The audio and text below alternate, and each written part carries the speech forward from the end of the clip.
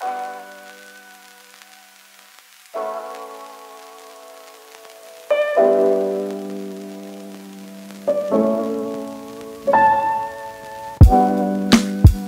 to get that film look on today's digital age. I'm not talking about the orange and teal cinematic look. I'm talking about this film look.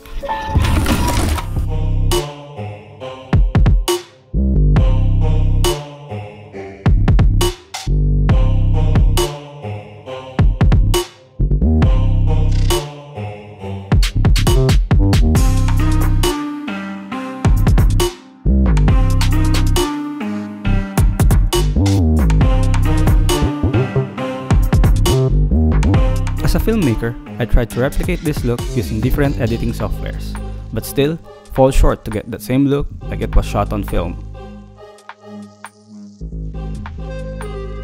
But with Dehancer, you can achieve this look with ease. Dehancer is a plugin that you add to mimic the film stock look. It does film stock emulation, film grain, halation, and a lot more. Here are some film stock emulation that they have.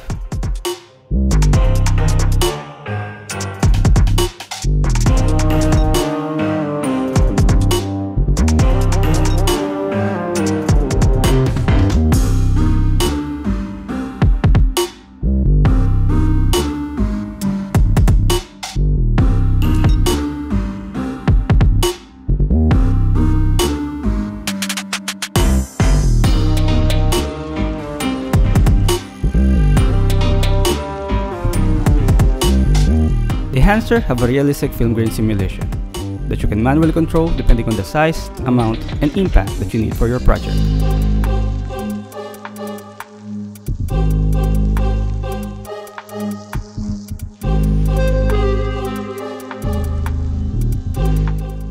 Their halation also look more natural than the halation that comes with the DaVinci Resolve. Halation is the reddish-orange halo that appears around the bright light source, also along contrasting edges. When combined with the film stock emulation and the film grain, it adds more to your footage to nail that final film look.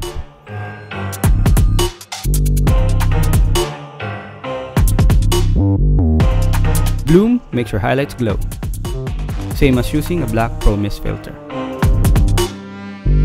If you like their plugin, you can download the free trial version on their website I'll put the link below or use my promo code JEDHombre to get the 10% discount to your subscription. Thank you for watching.